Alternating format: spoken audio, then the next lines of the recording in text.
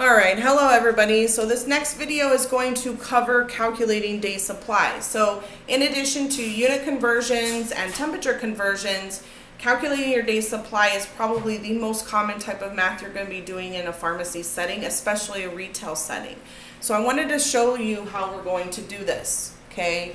I know there's a little bit of a glare there, but that says a 14 day supply. So RX means what has been ordered. This is what the doctor has ordered. He has ordered amoxicillin 500 milligrams POBID.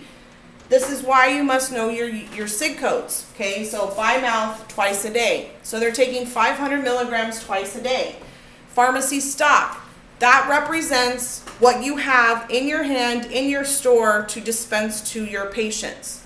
We have amoxicillin 500 milligram capsules. So these two match here. So it's one twice a day, okay? How many capsules will be dispensed for a 14 day supply. So they're taking uh, two capsules a day times 14. We need to dispense 28 capsules. Okay.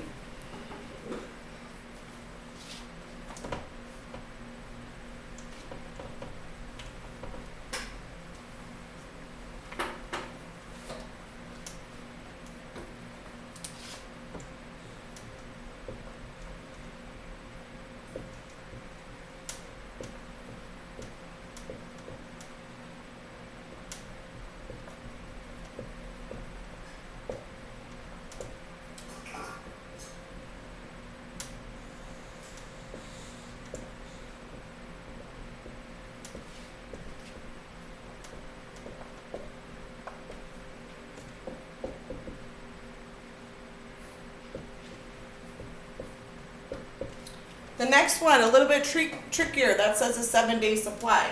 So Zofran, the doctor's ordered 8 milligrams of Zofran every 6 hours. In stock, you have 8 milligram tablets. How many will you dispense for a 7 day supply? So the first thing you have to look at is here, okay? So in a 24 hour period, every 6 hours is 4 times a day. If you did every 8 hours, that would be 3 times a day okay? So we're going to take 8 milligrams every 6 hours. So they can have 4 a day based off of the 24 hour period. So 4 times 7 because it's a 7 day supply. Okay, so again, breaking it down, 24 hours divided by 6 for every 6 hours the patient can take the medication four times a day. So we're going to take four times seven and we get a 28 day or 28, excuse me, tablets to dispense. Okay. So you really have to know your SIG codes. Use your SIG code chart when you're completing these assignments. Okay. So let's do a little tricky one here.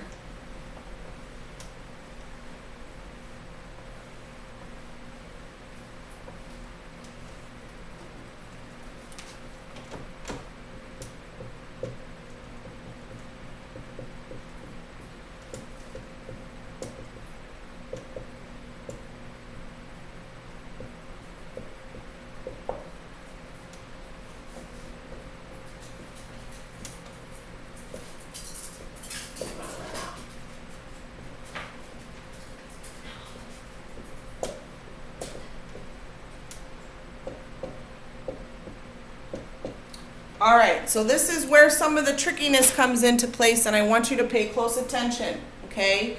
So again, here RX is what's been ordered. So trazodone 100 milligrams POBID, so by mouth twice a day.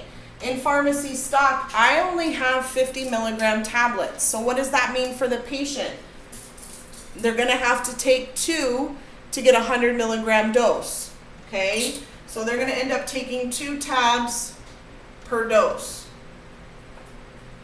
Then they're taking it twice a day.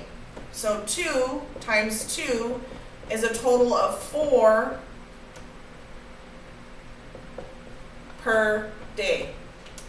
So they're taking a total of 4. Ooh, that didn't come out very dark. Let me rewrite it for you. So they're taking two tablets per dose to make the 100 milligrams. Two, twice a day, is four tabs per day. Now we're going to take four times 30, because they're taking a total of four tablets for 30 days, and that should be 120 tablets that we dispense. Okay, so it's very important that you're paying attention to how this is set up. You're going to be given the prescription that was ordered. You are going to be given the pharmacy stock. This is what you're paying close attention to. Do these match? If not, how many do they have to take of what you're giving them to make and be equivalent to what that's been ordered? And then how many times a day? Okay? 100 milligrams by mouth twice a day. We have 50 milligrams in stock, which means they are taking two tablets per dose to get the 100 milligrams. Two times two, because they're taking it twice a day, is a total of four tablets a day. Four times 30 for the 30 day supply, we're going to dispense a total of 120 tablets. Okay, so if you have any questions on this, again, be sure you call me or send me an email. Um, they're pretty straightforward. Just really pay attention um, so you're calculating the correct day supply. Have a good day.